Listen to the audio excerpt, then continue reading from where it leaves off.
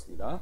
감사합니다. 하나님께서 한 주일 동안 또 저희들 지켜주셨다가 또 우리 주님의 복된 주일을 맞이하여서 또 함께 모여서 하나님을 높이고 또 찬송하며 또 주님을 섬길 수 있는 은혜와 특권 허락해 주셔서 참으로 감사를 드립니다. 하나님께서 우리에게 어, 무엇보다도 신앙의 자유를 주셔서 우리가 마음껏 자유롭게 주님을 섬길 수 있게 해주셨는데 주님 청컨대 우리가 이런 자유를 계속해서 누리며 주님을 어, 온전히 섬길 수 있는 어, 특권을 허락해 주시고 또 이 기회를 통해서 우리가 더 믿지 않는 자들에게 복음을 전하고 또 땅끝까지 세계 선교의 사명 우리가 감당하는 저희 모두가 될 수 있도록 주님 저희를 더 우리 교회를 사용해 주시기를 원합니다. 오늘 이 시간 우리가 또 하나님 말씀을 살필 때 복음과 관련된 내용을 우리가 하나님 말씀을 통해서 더 확실히 알고 우리가 주님 앞에 어, 구원의 확신을 통해 더 감사하며 어, 하나님을 더 기쁘게 섬길 수 있는 저희 모두가 되도록 어, 도와주시기를 원합니다. 감사드리며 모든 말씀 예수님의 존귀하신 이름으로 기도드렸습니다. 아멘. 예, 우리 지난 시간에 제가 나눠드렸던 아, 그 용지 종이 다 보셨죠? 예, 그래서 어, 제가 이제 미리 한번 예습을 해, 하고 오시라고 말씀드렸는데 다 해보셨을 줄로 믿 고 이제 한번 해보도록 하겠습니다. 자, 첫 번째 이게 한 아홉 가지 정도 질문이 되는데 이거 외에도 뭐 굉장히 많은 내용들이 있습니다만 이제 주로 우리가 많이 접하게 되는 내용이기 때문에 일단 이 내용들을 중심으로 어, 살펴보도록 하겠습니다.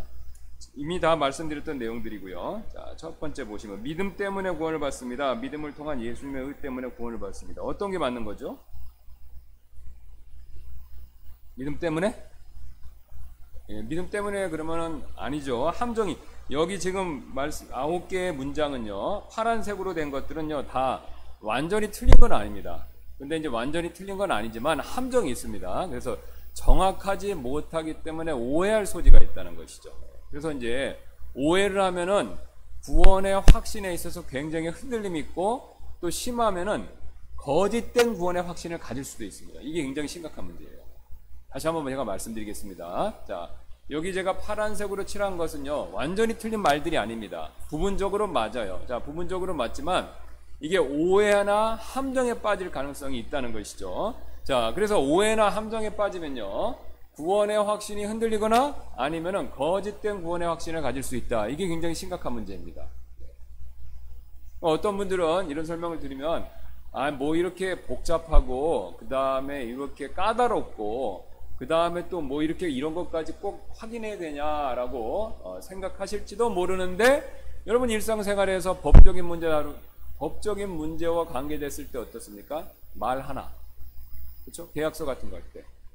말 하나 잘못 쓰면요, 또 잘못 이해했으면요, 나중에 심각한 문제 생기죠. 예, 부동산을 사고 팔고 전세, 전세나 월세 들어가고 나올 때, 예, 그 다음에 더 나아가서 회사에서 회사에서 회사에서 무슨 뭐 상품을 사고 팔 때 큰 무역 거래를 하고 할뭐 뭐 무역 거래를 할 때 이럴 때 어떻습니까? 이 단어 하나를 잘못 쓰면요, 잘못 이해하면요, 굉장히 심각한 문제가 생깁니다.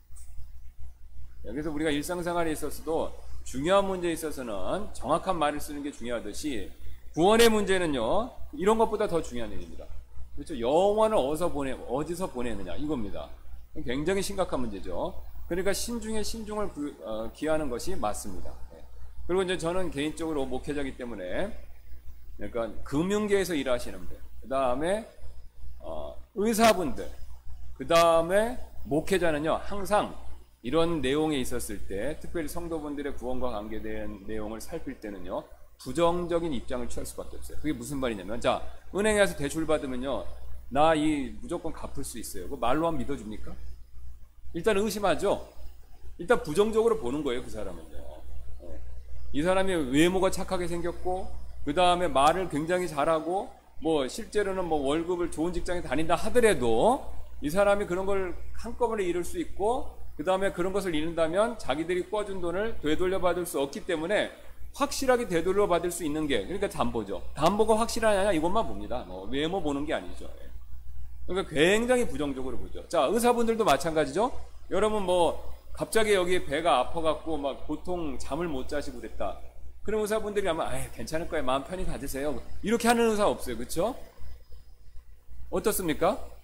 아니 검사해보자 그러죠. 엑스레이도 찍어보고 CT도 찍고 MRI도 찍, 어보자뭐 요즘에 이제 우리나라는 이제 너무 많이 찍자고 그래서 문제가 된다고 얘기도 하, 지만 어쨌든 의사분들은요 뭔가 문제가 있으면 그걸 부정적으로 보는 겁니다.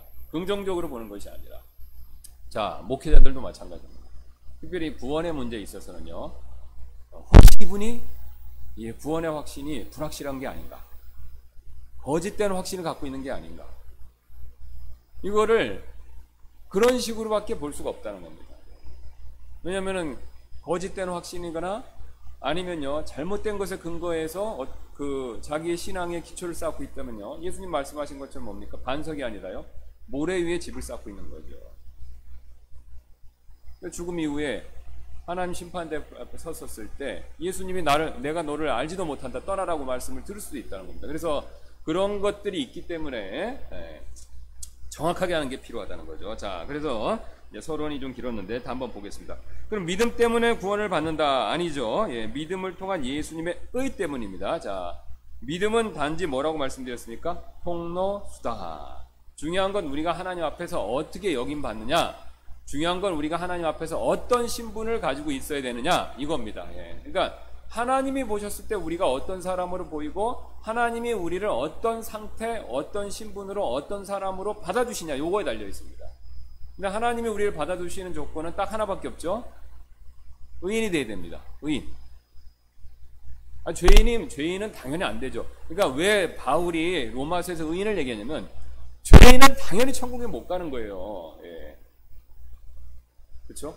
죄인인데 어떻게 천국 가겠다고 얘기하겠습니까? 문제는 뭐냐면 이슈는요, 의예요, 의. 지금 뭐 여러 리서치나 조사에서 많이 들어보셨잖아요. 어, 저도 여러 번 얘기했고 다른 우리 선교사님들도 많이 말씀하셨고 사람들이 왜 천국에 갈 수 있냐고 믿으면요. 특히 미국 사람들도 그렇고 예, 또그 기독교 국가에 있는 사람들은 거의 다 그렇습니다. 뭐 우리도 그렇 마찬가지지만요. 왜 천국에 선생님 가실 수 있습니까? 그럼 난 착하다는 거예요. 나 의인이라는 겁니다. 착하게 살았다는 거예요. 핵심은 의입니다. 근데 얼마나 착하게 살았냐? 요거 문제죠, 요게. 그 착하게 살았다는 기준이 우리 거냐 하나님 거냐 이게 이슈입니다. 근데 사람들은 내 거, 특히 내 거 중에서 내 기준 중에서 나보다 못한 남 항상 그렇습니다. 바리새인과 세리의 기준, 을 보시면요. 성경에 기도하라고 한 바리새인하고 세리 아시잖아요. 바리새인은 어떻게 했습니까? 그 기준을 하나님께 둔 게 아니라 자기보다 못한 세리를 두고 저 세리와 같지 아니하면 감사합니다. 그랬다는 거죠. 항상 우리는 그렇습니다. 그래서 난 천국 갈 수 있습니다. 왜요? 선생님 천국 가실 수 있습니까? 죽, 죽음 이후에 그럼 갈 수 있습니다. 왜요? 그러면 저는 착하게 살았어요. 그 얘기는 뭐냐면요. 다른 사람보다 낫다는 겁니다. 그러면 확실합니까? 그러면요. 이 세상에 나쁜 사람 얼마나 많은데 아무개 아무개 아무개 뭐 이렇게 얘기 굉장히 많이 하시죠. 그게 틀린 말은 아니지만 문제는 이 천국에 갈 수 있는 의의 기준이 나한테 있는 게 아니라 하나님께 있다. 그래서 하나님이 그걸 보여주셨습니다. 이스라엘 백성들에게는 율법을 통해서, 우리에게는 도덕적 본성이라는 걸 통해서. 그래서 세상에서는 그거를 자연법이라고 부르는 거고. 네. 뭐 자연법이든 도덕적 본성이든 내용은 똑같습니다. 하나님이 만드셨고 우리 안에 뭐가 그르고 틀린지를 다 안다는 거죠. 거짓말하면 안 된다는 거 알죠? 살인하면 안 된다는 거 알죠? 네. 다 알고 있습니다. 다 알고 있죠. 그래서 하나님께서 정하신 그 기준, 의의 기준에 도달해야만 천국 갈 수 있는데 문제는 그렇게 해서 갈 수 있는 사람이 아무도 없다는. 누구만 가능하죠? 예수님. 그래서 예수님이 오셔서 일부러 그 일을 다 이루시고 그 다음에 우리가 특별히 믿을 때 그 일을 우리에게 전가해 주셔서 하나님의 의의 조건, 요구하시는 율법의 조건을 다 만족시키신 겁니다. 그래서 하나님이 우리 건 아니지만 예수님이 믿음을 통해서 예수님을 믿을 때 예수님이 예수님의 의를 성령께서 우리에게 전가해 주셨고 그 전가된 의 그것을 우리가 이제 통장으로 얘기했었을 때는 이제 돈의 개념으로 생각하시면 되고 입금된 겁니다. 그 다음에 옷으로 생각하시면 옷의 개념으로 묘사할 때는 구약에서 얘기하고 있죠. 그걸 뭐냐면 이제 의의 옷이 되는 거죠. 그래서 구약에서부터 계속 얘기했죠. 예. 가죽 옷 사건. 피를 흘려야 되고 가죽 옷을 입어야 됩니다. 그 다음에 제사장이 1년에 한 번씩 속죄일에 대속죄일에 지성소 안에 하나님의 궁유의 자리, 하나님 임재하시는 자리입니다.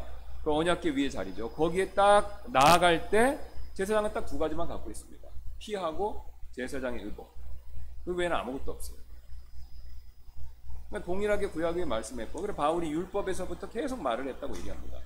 그리고 예수님 오셔서 그 그림자를 실제로 완성하신 거죠. 그래서 십자가에서 다 이루셨다라고 말씀하시고 숨을 거두신 거죠. 자, 그래서 이제 우리가 하나님 앞에서 의롭게 될 수 어떻게 이롭게 될 수 있습니까라고 했을 때는 그리스도의 의 때문에 의 때문이라는 것이죠.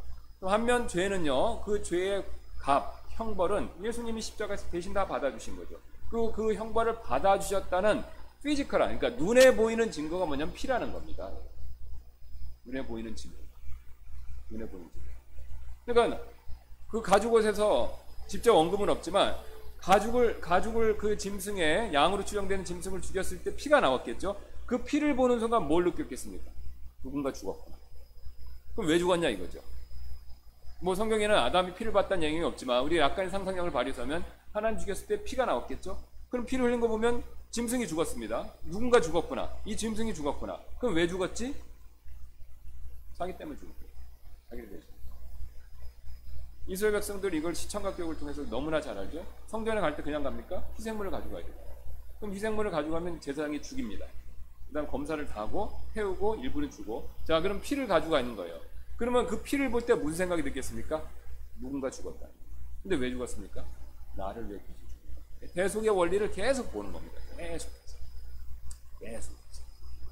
그래서 우리가 예수님의 예수님의 의 때문에 구원받는 거지 믿음 때문은 아닙니다. 자, 그럼 믿음 때문이라고 하면요. 믿음 자체를 잡고 행위로 생각하실 가능성이 높아요. 그 함정에 빠지는 겁니다.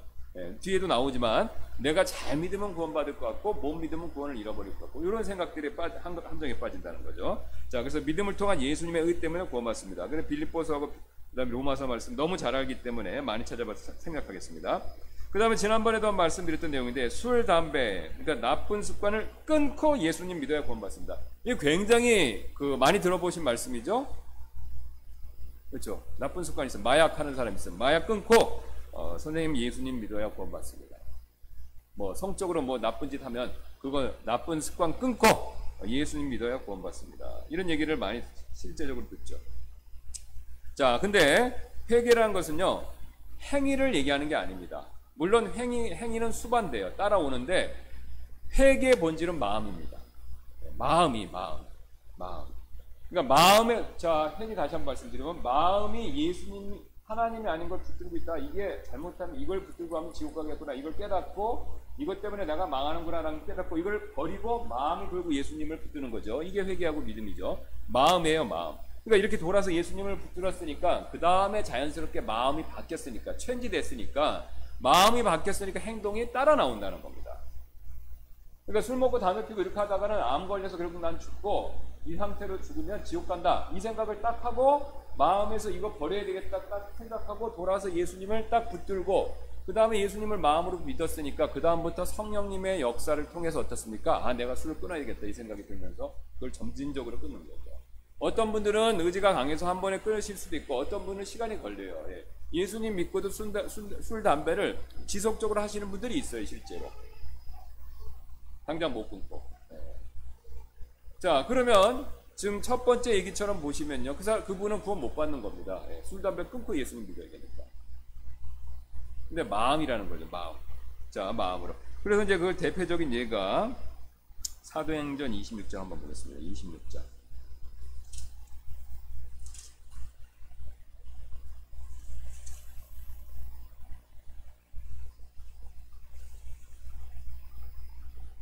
26장 20절이죠.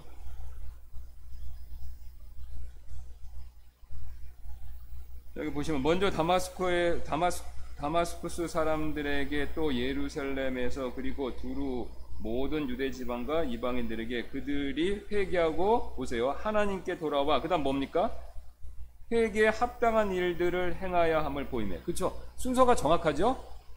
자, 지금 바울이 얘기한 겁니다. 바울이 아그리빠 왕한테 자기가 뭐 했는지를 얘기하는데 자기가 구원받고 나서 그 환상에 그러니까 큰 빛을 본 거죠. 그 환상에 불순종하지 않으면 먼저 다마스쿠스 사람들에게 또 예루살렘에서 그리고 두루의 모든 유대 지방과 이방인들에게 그들이 회개하고요. 하나님께 돌아 보세요. 회개하고 하나님께 돌아와 마음이 바뀐 겁니다. 그다음 뭐 하라고 얘기합니까? 회개에 합당한 일들을 행하야 함을 보입니다. 그죠? 행함을 먼저 하고 회개하라고 그랬습니까? 아니잖아요. 순서가 정확하죠. 예. 침례위원도 그랬어요. 회개하고 회개에 합당한 열매를 보이라고 그랬죠. 예. 순서가 정확합니다. 열매를 보이고 회개라는 얘기가 없어요. 예. 먼저 마음이 회개하고 회개라는 게 뭡니까? change of mind 이게 도는 거예요. 도는 거예요. 그래서 여기 보세요. 자, 회개하고 돌아서 하나님께로 돌아와야죠. 근데 돌다가 반만 돌면 안 됩니다. 예, 완전히 돌아서 누구한테까지요? 하나님께 예수님까지 한테까지 돌아야 된다는 거죠. 그 다음에 뭡니까? 회개에 합당한 일들 행하라고 그런 거죠. 예. 그래서 이 회개에 합당한 일을 할 땐 당연히 내 힘으로 안 되니까 누구의 힘을 받는 겁니까? 성령의 힘을, 예, 성령의 도움을 받는 거죠. 자, 그 다음에 이제, 어, 또 한번 보시면, 8장. 8장 21절 한번 보겠습니다. 8장 20. 여기 이제 21절하고 22절. 여기 보시면 마법사 시몬, 시몬 나오죠. 그 시몬 나오면 이제 아시는 것처럼 시몬은 구원받은 사람이죠. 그럼 맞죠? 네, 여기 보시면 22절 나옵니다. 그러나 빌립이 자 한번 볼게요. 한번 같이 한번 읽, 제가 처음부터 읽어야 될 것 같습니다. 9절부터 그러나 시몬이라 하는 어떤 사람이 있었는데 그가 전부터 바로 그 도시에서 마법을 이용하여 사마리아 백성을 홀리며 자기를 어떤 대단한 자로 내세우매. 여기 보세요. 이 사람이 지금 굉장히 관심을 가졌던 것은 대단한 자 명예입니다. 예. 가장 작은 자부터 가장 큰 자에게 이르기까지 그들이 다 그의 말에 주의를 기울이며 이르되 이 사람은 하나님의 큰 권능이라 하더라 그가 오랫동안 마법으로 여기서 하나님은 이제 어, 저기죠. 진짜 하나님은 아니고 이제 그 신에 대해 해당되는 건데 자 그가 오랫동안 마법으로 그들을 흘렸으므로 그들이 그를 존중히 여기더라. 자 보세요. 이 사람은 존경받았습니다. 그러나 빌립이 하나님의 왕국에 관한 것들과 예수 그리스도의 이름을 선포하는 것을 그들이 믿고 남자들과 여자들이 다 침례를 받음에 자 시몬 마법사 시몬을 존중했던 사람 가운데서 얼마인지는 모르지만 하여튼 그 사람들 중에 어, 일부가 다 믿었다는 겁니다. 이때 시몬 자신도 믿고 침례를 받은 뒤. 자, 여기까지 말씀 보면 어떻습니까? 구원 받은 게 맞죠? 예. 이 당시에 무슨 뭐 거짓 교리를 해갖고 가짜 구원 받고 이런 뭐 복음이 불분명해갖고 천주교식 복음 정화 이런 건 아직 안 나타날 때입니다. 그러니까 빌립이 얼마나 복음을 정확하게 전했겠습니까? 그러니까 그게 정확하게 전했으니까 이 사람도 뭐 마법을 행하던 사람인데 침례까지 받으려면요 이 사람이 진짜 회개하지 않으면 그걸 하겠습니까? 예. 그러니까 이게 분명히 구원받은 게 맞죠. 시몬도 시몬 자신도 믿고 침례를 받은 뒤 빌립과 함께 머물며 그 이루어진 기적들과 표적들을 보고 놀라니라. 이제 예루살렘에 있던 사도들이 사마리아가 하나님의 말씀을 받았다는 것을 듣고 베드로와 요한을 그들에게 보내매 그들이 내려가서 그들을 위해 기도하여 그들이 성령님을 받게 하니 자 이제 이방인들한테 성령님이 처음으로 임한 겁니다. 그러니까 성령이 임하니까 어떤 현상이 일어날까요? 고린도전에 나와 있죠. 대원 말, 말씀도 막 하고 외국어도 갑자기 안 배웠는데 거기 사도행전에 우리 처음에 베드로가 그 오순절날 성령이 성령이 강하게 임하니까 사도들이 어떻게 했습니까? 배우지도 않은 외국말 13개 이상을 막 했잖아요. 예. 그리고 그 외에도 어떻습니까? 뭐 손을 얹으면 병도 낫고 어, 하나님의 표적과 기적이 이적이 맞다는 거죠. 굉장히 놀라운 일이 일어난 겁니다. 자 그래서 이제 그렇게 성령님이 내, 내려온 겁니다. 자 성령님 받게 하니 이는 아직 그분께서 그들 중에 아무에게도 내려오지 아니하셨고 이제 이방인들에게 처음 내려오신 거죠. 그들이 다만 주 예수님의 이름으로 침례를 받았기 때문이더라. 그때 그들이 그들에게 안수함에 그들이 성령님을 받으니라. 사도들이 안수함으로 성령님이 주어지는 것을 시몬이 보고 그들에게 돈을 주며 자 성령님이 주어지는 걸 시몬이 봤다는 건요. 저를 봐주시면요.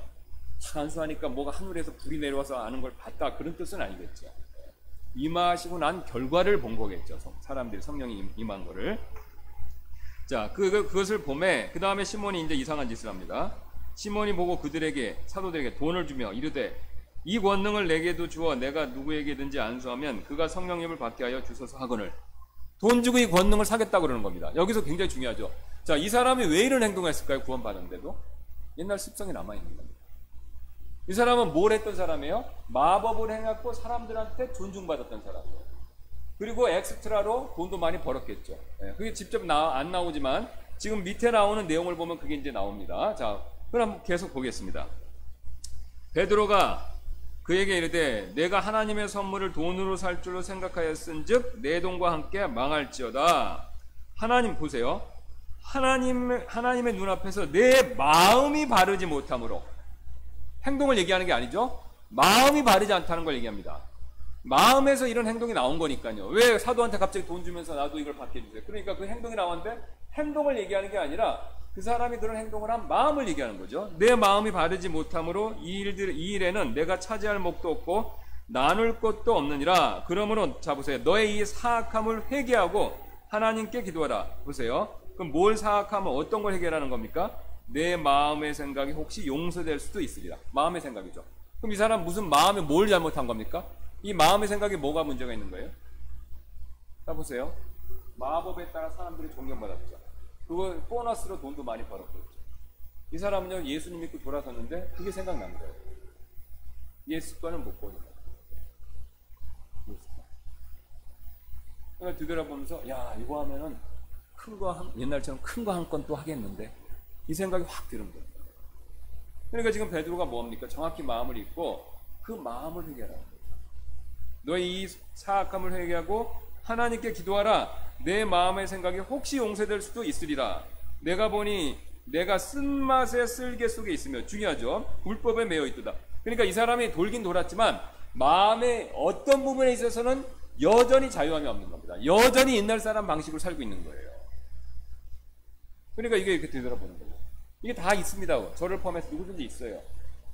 예수님 믿었지만 어떤 사람 명예 때문에 되돌아보고 어떤 사람 돈 때문에 되돌아보고 어떤 사람은 뭐 성적인 것 때문에 되돌아보고 또 어떤 사람들은 뭐 세상적인 어떤 취미 이런 것 때문에 되돌아보고 이게 다 있다는 거예요. 그 부분에 있어서도 버리고 돌아서야 된다. 그러니까 우리 삶에 그런 것들이 다 있습니다. 이 사람만 나무랄 것이 아니라요. 네, 우리도 다 있죠. 그러니까, 그러니까 우리가 그걸 점검하고 매번 그런 것이 이렇게 뒤돌아보는 게 있으면 그걸 버리고 다시 주님을 봐야 되는 거예요. 그러니까 구원받기 전에 회개든지 구원, 구원을 위한 회개든지 구원받고 나서 자백의 개념의 회개든지 원리는 똑같습니다. 원리는 똑같아요. 이슈는 뭡니까? 마음. 마음. 마음에서 출발해서 행동이 이르는 거죠. 그러니까 여러분 행동을 바꾸려고 하면 안 됩니다. 행동을. 그러면 이제 심리학에서 말하는 행동 중이죠. 네. 쥐가 이렇게 있으면 가지 말라는 길로 하려면 어떻게 돼요? 행동. 자꾸 전기를 칙 주면은 전기 쥐가 놀래서 안 가고 이쪽으로는 뭘 줘요? 치즈를 줘. 그러면 전기 주는 데는 안 가고 이쪽으로는 그런 거죠. 그러니까 행동을 바꿔서 사람의 생각을 바꾸려고 하는데 이건 성경적인 개념이 아닙니다. 성경은 반대로 얘기해요. 마음을 바꿔야 돼요. 마음 중에서 어떤 거예요? 생각을 바꾸라는 겁니다. 제일 중요한 건 생각이에요. 생각. 예. 이 시몬이 뭘 생각했냐면 요걸 받으면 내가 옛날처럼 다시 명성을 얻을 수 있다라는 그 생각. 옛사람의 생각이죠. 그겁니다. 그거에 딱 사로잡혀 있는 거죠. 불법에 매여 있는 겁니다. 그 부분만큼. 그 요걸 버려야 된다는. 자, 그래서 우리가 회개라는 것은요, 죄를 마음으로 하고 예수님을 믿어야 구원받고, 구원받고 나서도 마찬가지다. 이 마음에서 돌아야 된다는 거죠, 마음으로. 자, 그 다음에 또 여기 이거 있습니다. 자신의 죄를 크게 슬퍼해야 구원을 받습니다. 어떤 분은 막 눈, 눈물, 콧물 다 짜고 막 완전히 통탄하고 막, 어, 완전히 막 감정적으로 사람이 그것을 적극적으로 확실하게 표현해야 아, 이 사람 정말 어, 구원받았다 라고 하는데 똑같죠? 똑같습니다. 감정을 드러내서 구원받는 게 아니라 뭡니까? 마음이. 예, 죄를 회개하고 죄를 마음으로 회개하고 예수님을 믿어야 예수님을 믿냐 안 믿냐가 중요합니다. 이거 슬퍼할 수는 있습니다. 사람은요, 예, 사람은 자기의 죄에 대해서 뉘우치고 슬퍼하는 거 있습니다. 여러분 옛날에 문학 작품들 보세요. 요새는 그런 문학 작품 별로 없는데 죄 짓고 후회하고 눈물 흘리는 장면 나오는 문학 작품 얼마나 많습니까? 본받지 않은 사람. 그렇죠? 가론 유다도 슬퍼하고 목을 맸어요. 가론 유다가 구원받다고 믿는 사람 아무도 없거든요. 그 사람도 슬퍼하면서 뉘우치고 목을 맸어요. 그러니까 이게 도는 거는 어느 정도 할 수 있어요. 근데 완전히 돌지는 못하는 거죠. 그러니까 여기서 돌고 멈추면은 그게 이제 종교가 되는 겁니다. 자꾸 자기를 돌아보고 뉘우치고 슬퍼하고 근데 이제 예수님은 믿지는 않는 거죠. 예. 주로 이제 이거 잘하는 사람들이 누굽니까? 도인들. 증산도나 뭐 이런 계통이 있죠. 요새 도 굉장히 유명한데 그 사람들은 그건 압니다. 마음을 다스려야 된다. 그래서 마음 얘기를 굉장히 많이 하고 근데 문제는 뭐냐면 그 마음을 다스리고 깨끗하게 하는 거를요. 자기 자신이 하려고.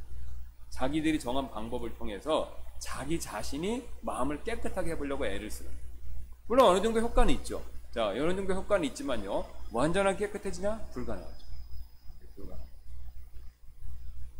결국 구원이라는 것은 우리가 예수님을 믿음으로 통해서 성령님이 오셔서 우리의 마음을 깨끗하게 해주시는 과정이죠. 구원받고 나서. 예.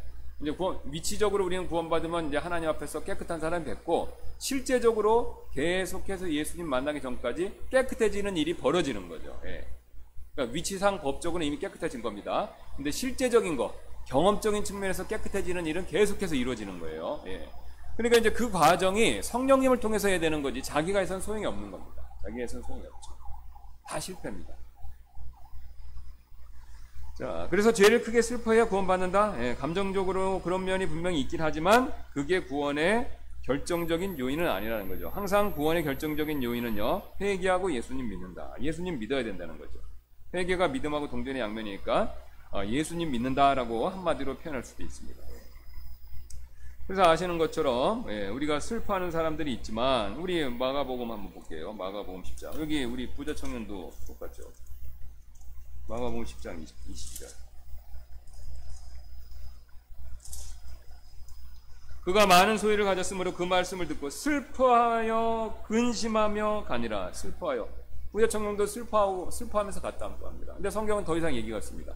근데 예수님 말씀 이 사람이 돌아와 세계했다는 얘기는 없는데 예수님 말씀을 뒤에 나오는 사, 복음서 이제 공간복음에서 세 군데 얘기를 내용을 들어보면 어, 예수님께서 23절에 이 말씀하시는 거 보니까 구원 못 받은 것 같습니다. 예수님께서 주변을 둘러보시고 자기 제자들에게 이르되 재물을 가진 자들은 하나님의 왕국에 들어가기 얼마나 어려운가 하시니 그렇죠? 그 얘기를 안 보니까 왜 그렇습니까? 이 사람이 돈, 돈 욕심이 있는 겁니다. 돈을 자기가 만번을 섬기는 그러니까 예수님이 돈 욕심 갖고 있으면 천국 가기 어렵다 이렇게 말씀하십니다.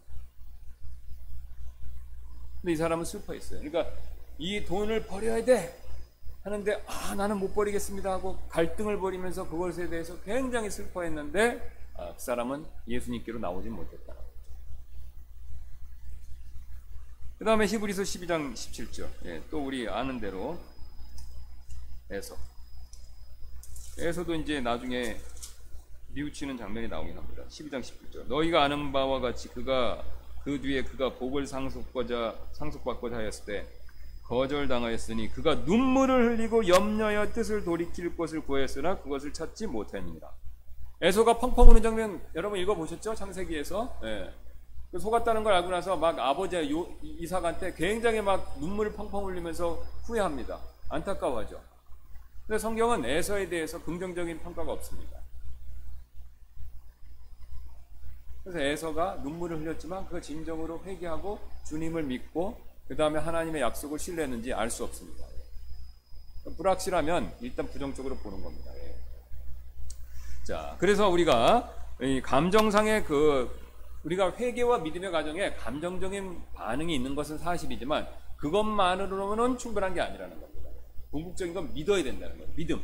예, 믿음이란 것 안에 감정적인 요소가 들어가면 지정이란 요소가 있지만 감정적인 요소만 있다고 해서 무조건 믿는다라고 얘기할 수는 없다는 겁니다. 여러분 무슨 말인지 아시죠? 이렇게 도는 과정을 생각하시면 굉장히 쉬워요. 완전히 돌아야 되지 중간에 감정적인 요소가 있으면서 여기서 멈출 수가 있는 거거든요. 그건 소용이 없다는 거예요. 돌다가 멈추는 사람이 있으니까. 그러니까 저도 생각이 납니다. 어렸을 때 제가 이제 교회 다니고 그러면 여름에 부흥회 같은 것도 하고 그 다음에 수련회 같은 데도 해요. 예, 그러면 이제 복음의 말씀을 전하고 그 다음에 보통 이제 어떻게 하냐면 저 어렸을 때는 이제 막 그때 이제 그 그런 게 막 들어올 때였어요. 막 그게 막 드럼이나 막 이렇게 하고 하면서 저도 이제 일반 교회를 다녔었어요. 그렇게 하면은 막 반주도 하고 하면서 사람의 감정을 막 자극합니다. 그리고 불도 꺼요. 그 다음에 촛불도 켜. 아, 그러면서 이제 불 끄고 눈 감고 그 감정을 싹 이렇게 할 수 있도록 그렇게 다 세팅을 합니다. 그러면서 얘기하면서 하는데 그럼 막 죄 얘기하고 그러면 막 여학생들이니까 또 이제 중고등학교 때니까요. 뭐 청소년기에 아시잖아요. 예, 요즘 그 청소년들은 너무 감정이 메말르고 애들이 거칠어서 문제인데 저희 때만 해도 애, 청소년기에 여학생들 같은 경우 감성, 감성이 굉장히 풍부했어요. 그러니까 그런 얘기하니까 자기 죄를 돌이키고 운단 말이죠. 예. 울어요. 그러면서 예수님 믿을 거냐고 손 들고 그랬어요. 어, 그럼 기도도 해주고 그랬는데 나중에 보면 교회도 안 나와. 그러니까 퀘스천이라는 겁니다. 울고 했지만 퀘스천이라는 거예요. 뚜렷한 변화의 증거가 없었다는 거예요. 저도 여러 번 해봤어요. 예, 눈물 흘리기도 하고. 예. 근데 저는 그때까지 구원 못, 제가 25살이 될 때까지 구원 못 받았어요. 그러니까 저도 그 전에 해봤는데 아니었다는 거예요. 구원 받고 나서 보면. 그러니까 이 오순절 교회 영향 그 여기 뭐야 순봉국 교회 영향을 받은 그 교회들은요 그런 거 굉장히 잘해요. 그런 게 잘해서 막 거기서 막 뭐 그 뭐 봉사 같은 목사님들 뭐말 크게 해놓고 뭐 주여 뭐 울부짖십시오 막 옛날엔 뭐 굉장히 많이 해갖고 어 기억이 막 생생한데 지금은 이제 하도 오래돼서 생각이 별로 안 납니다. 예. 하여튼 그런 거 기도원 같은 데 가면 더 심하죠. 기도원 가면. 예. 하늘상가 기도원 같은 데 저도 자주 가봤는데 거기 가면 막 북치고 막 난리 난리도 아니에요 보통. 거기 분위기에 압도돼서 그렇게 할 수밖에 없어요. 모든 사람들이 있으면서 막 주여 하고 막 울고 막 자기의 막 죄를 다백합니다 막 이런 거 하면요 자기도 감정 영향을 받아요.